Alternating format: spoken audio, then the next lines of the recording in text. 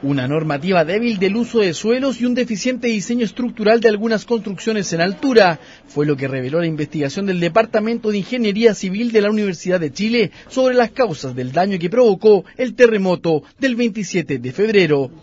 conocer dónde se va a eh, inundar, conocer si las estructuras en las cuales estamos pertenecen al grupo riesgoso, adobe, mampostería que no tiene eh, refuerzo estructural o fierro, o edificios altos con paredes muy esbeltas, que son los que se dañaron en este terremoto, o las carreteras de tipo concesionada eh, de la zona centro-sur,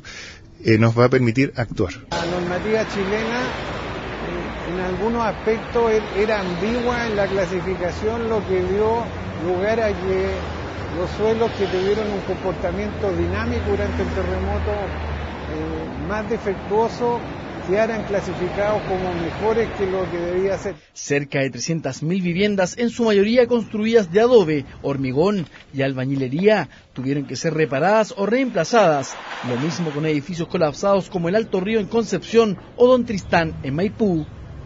El daño, por ejemplo, de flexo-compresión que hubo en muros de hormigón armado, en especial, ¿cierto?, en, muros asimétricos, está asociado de alguna manera, digamos, a grandes demandas de formación de compresión en extremos del muro, lo que significa, ¿cierto?, que se puede concentrar el daño ahí y por lo tanto hay que hacer que la estructura sea capaz de deformarse un poquitito más. Incluso las carreteras concesionadas presentaron fallas. Eso fue un error eh, debido a que se impuso, digamos, en algunas situaciones por algunas concesionarias un modelo, un diseño sísmico que no había sido validado y un error de parte nuestra como chilenos en sentir de que cosas que venían de afuera podían ser mejor que las nuestras. La verdad es de que todo lo que se había diseñado con la cultura sísmica chilena no sufrió daño. Es una radiografía de los problemas que deben ser contemplados en las soluciones y tratar de evitar así efectos dramáticos en un país donde los terremotos son una constante.